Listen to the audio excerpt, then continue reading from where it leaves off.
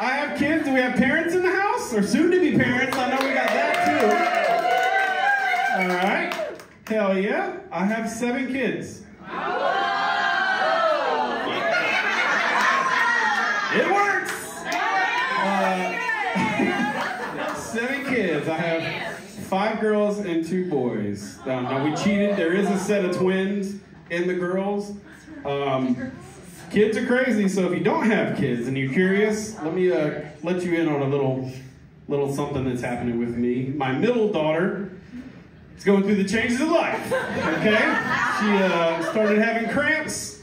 I don't know what I'm doing. Uh, I told her to take a Tylenol migraine.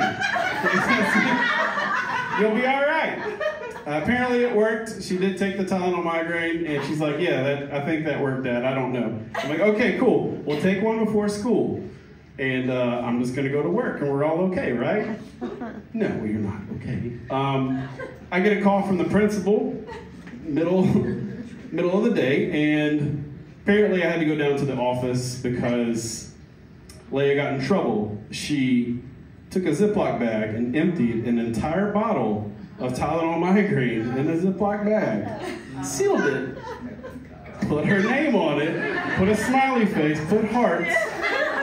Uh, it looked sketchy. Look, I, I don't know anything about dealing drugs, but it looked like she was dealing drugs. And this is a real story. Look at that. Look at that. That's what I was handed from the principal. It's got her name and a smiley face and some hearts. It's pretty. It's pretty dope. Thank you. I'm a dad. Uh, I was like, okay, I'll talk to her. And they're like, no, no, no, it's worse. I'm like, what? It's worse. She was selling them to other kids in class that were having cramps. She's like, you got cramps? I got you covered.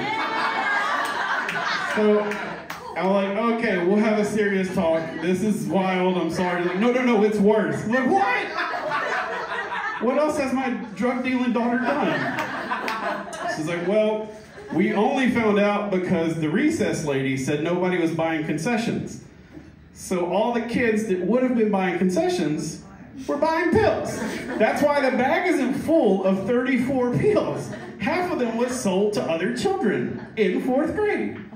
My daughter created a monopoly in fourth grade with the, uh, with the, yeah. She's the plug for fourth grade. Uh, so let's give her a round of applause.